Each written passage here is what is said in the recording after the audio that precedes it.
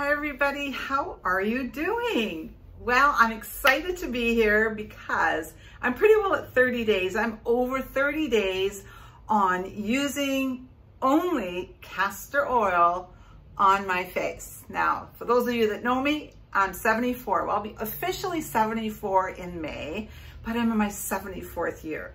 So anyway, welcome if this is your first time. I live in Vancouver, British Columbia, and um, I'm glad that you're here. Okay, um, so much to say, so be patient. Yes, I have something right here behind me. These are four bottles of castor oil. And I have, and you can see some of my other videos where I talk about castor oil and I've been sorting through it. And so I'm gonna share with you who the winner is who's now going to be my forever bottle of uh, castor oil. And so trial and error and learning things, right, make us better. So I want to share that with you. I also going to share with you uh, a before and after of my knee. And I'm going to tell you a little bit of story insight on that uh, when we get to that segment of this video. First, I want to talk about my face. All right. When I said I was going to do this, I actually did commit for 30, 30 plus days. I think I'm about five weeks. Okay, so I do not use foundation. I do not use concealers. I never have. It's never been my thing. Um, you know, I'm just doing it the way I've always done it. I played around with it in my teens, but that's about it. I've, I've, I've never liked the feeling of foundation on my face. Okay, so just a little bit of background before I give you the whole castor oil thing. And um, so, but I do absolutely love my bronzer, you guys. I'll probably never ever leave that because I love some color in my face. And I don't just use it here. I just give it a shh all over my face, okay? And of course, I love my mascara and I love my eyeshadow. So that's it as far as makeup or anything like that. You can't even, it's a kind of a makeup, I guess. I don't know. Anyway, I use great skincare and I'm excited about that. I'm waiting for it to come. I'm out of it right now. No, not all of it, but some of it. So I'm going to share with you what skincare I've been using for the last, I think, three and a half years now. So I will definitely be sharing with it with you all of that. But castor oil, like, could it make a difference for me, like at 74? you better believe it did. All right, now funny enough, about a week ago, I was over visiting my youngest daughter. She's very close by. And she just happened just out of the blue say, you know, mom, your, your face, it's, it's got like a, it's got like a little like glow to it. And I went, I said to her, oh, I haven't really noticed that. And I said, I wonder if it's my castor oil. Well, who knows? Well, you know, I watch a lot of my peers and one of the things that we all try to achieve and maintain is that we keep some plumpness, right? That we don't go totally hollow. And if you go back in some of my videos, I was really concerned about that because I started intermittent fasting. Mm, I've been a little bit naughty, but anyway. and um, I was really losing a lot off my face. Like I was getting hollow. Anyway, um, so I just can't actually, I you just got to go back and check, right? Like see for yourself. And I was using this incredible device, which is no longer available. The company folded. It's called Lumo, and it's a radio frequency and red light therapy, which I really love. But I did not use this for a whole month. I put it to the side. Now, I must admit, I did use their eye, the Venus. I do keep using that because I love it so much. I need it for my eyes. Okay, so my face is a lot plumper. Ah, That's so interesting. I needed to research a little bit because I didn't know this about castor oil. You know, like I was introduced to it in 1975, April, know the month exactly, but under the doctor's orders, I am not a doctor, I'm not a physician, and not a naturopath. It's just me, Liedy. Um, but he had told me at the time take two tablespoons to see if I could induce the labor of my baby that was overdue. And it didn't work. a few other things worked, but that didn't. Because you know, castor oil is also a natural, uh, uh, you know, get the bowels moving. So anyway, so that was my first introduction. I had a big bottle of it. It's always been in, in the cabinet. And every now and then, just the same as maybe a, you know, some Vaseline or whatever, I would put it on my skin and It's great. I would love putting it on my, on my legs, but especially my arms, especially my arms. I could really, you know, really see that it was taking care of the crepey skin. Okay. So I thought, okay, a whole, a whole month of nothing else but castor oil. And I did. I did wash my face really well every morning and every night. And I would put on my castor oil. Now I put it on my hands and I just kind of dab it all in. I get a little more aggressive in the neck. I put more and massage it into my neck. And I usually use it for my exercises, my face exercises, especially the jowls. Okay, so I have noticed, well, I had crow's feet and I think it really has helped with my crow, crow's feet. I don't think they are as deep as they were. So that has, I think, made a difference. But more than anything, I see some plumpiness in here. Like I've never done just, you know, I don't do anything. And it has definitely given me some plumpiness. But the other thing, I have a lot of hyperpigmentation, which is from the 60s, laying on the beach, you know, that itsy bitsy teeny weeny yellow polka dot bikini, and a lot of sunshine, a lot of baby oil and iodine. Lightened the hyperpigmentation, but I also think it's lightened and brightened my skin itself. So, you know, like I am really, really really impressed. Now, I'll, this is all I've got on because I still, like I said, I still don't have my skincare and I don't wear makeup. So I actually did put on the um, castor oil and then I left my skin for about 20 minutes and then I put my bronzer over top. So I could come and make this video for you. So I have definitely seen, seen a difference. You know, um, I had uh, well, what makes it so powerful? Well, you know, it's an anti-inflammatory. It's got the antioxidants. And that was really important when I was going through what castor oil I should get because how thing, how castor oil is processed is really important that you max on, um, you know, are you getting the maximum of the power of the castor oil? So that's why I'm going to make that reveal to you in a few minutes. And then the pain relieving that it it has those properties and for me I oh I don't like to say it. I do have osteoarthritis but you know what? It really hasn't been bothered I've been so good with it. So to me I'm I'm cured. Okay this is personal right? I'm going my osteoarthritis is like it's just not bothering me like it used to. And I do actually give credit to that to the castor oil because I have really been paying attention ever since I found out all these wonderful things about the castor oil. It wasn't just something that was sitting in my cupboard, is I've really been paying attention to the joints and my wrists and my knees. And I'm gonna show you my knees, okay? I'm gonna do it before and after here. Also 30 days ago, I thought, you know, I'm just rubbing it on my legs, kind of, you know, put it in my arms, but I have a massive scar on my head, a total knee replacement. Three years later, they had to go back in and do a, do a, it was a, it was, it, it was more than a revision. It, it was the fourth time my surgeon had done that particular surgery. And we had to wait a year to get permission to, to do it. And so they had to go back in and open it all up. And um, anyway, so I have a pretty massive scar on my left knee, like over.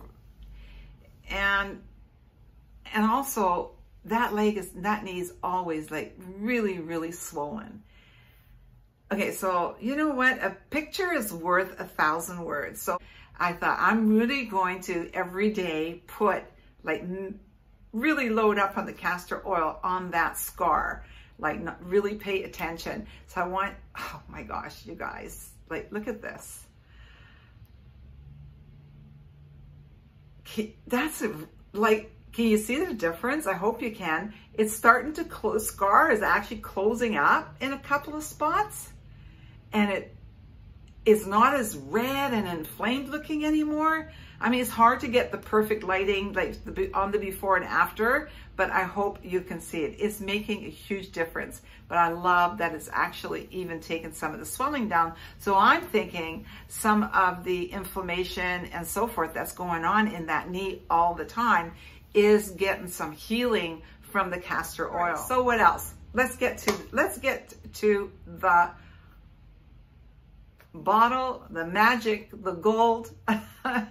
and uh, yeah, it's like uh, what they say, nature's Botox. I believe it is. I mean, I believe it is. All right. I had quite a dilemma about it.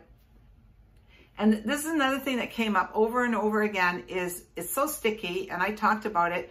And then a lot of you gals said, you put it with another oil, uh, you, you, you use another carrier in order to, for it to glide on a lot easier onto your skin. I put it on just as it is. I really don't have a problem with, with it. Now, maybe because I apply it right after my sh shower and my skin is very moist still, you know, you dry off, but it has that moist feeling. And I'm thinking that's why it saturates into my skin really quickly. And I, like my arms got, they, they feel fine. Okay, well, a lot of you are using a carrier. Now this is what you might want to think about. I think if you're using an oil, and some of you are talking about frankincense and aloe vera and coconut, I wouldn't put coconut on my face, but I'd have no problem putting it on my body. But I thought, okay, I, that's I think that's awesome because some of those other oils like frankincense are supposed to be unbelievable.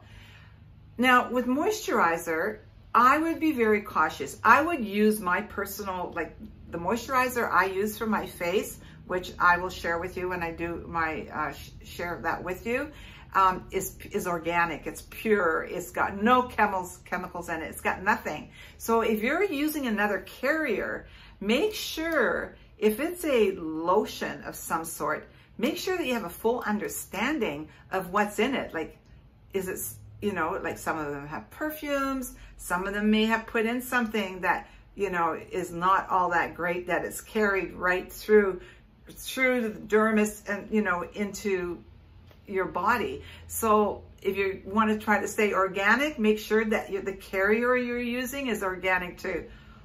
That's just common sense. I am not the wizard of castor oil. All right, castor oil. I knew when I, I had the drugstore, that's all I've ever had is drugstore until I started learning all of this and I went, that is not good enough. This this one here is our drugstore brand. And actually it says,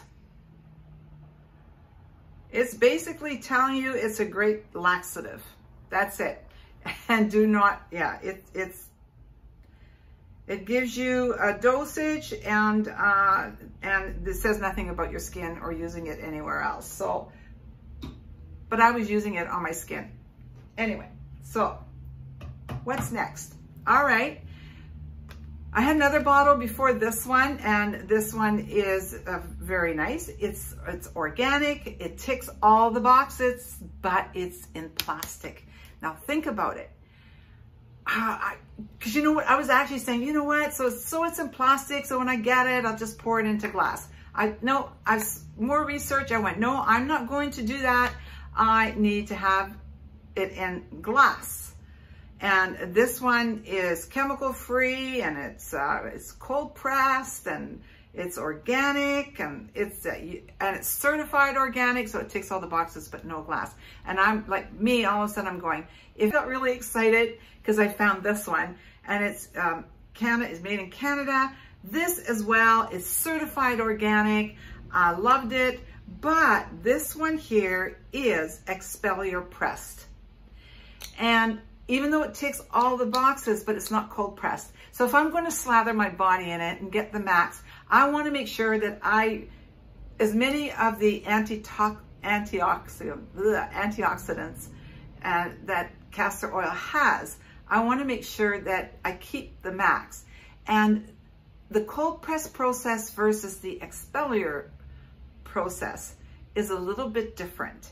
And so that's why it doesn't say cold press. So if it's cold press, that means there's no heat or minimal heat to get the most antioxidants in the castor oil. That's my understanding and just my opinion, okay?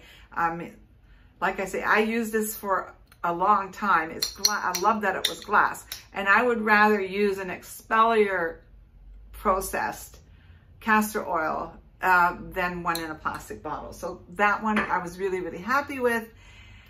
And then I thought, well, you know what?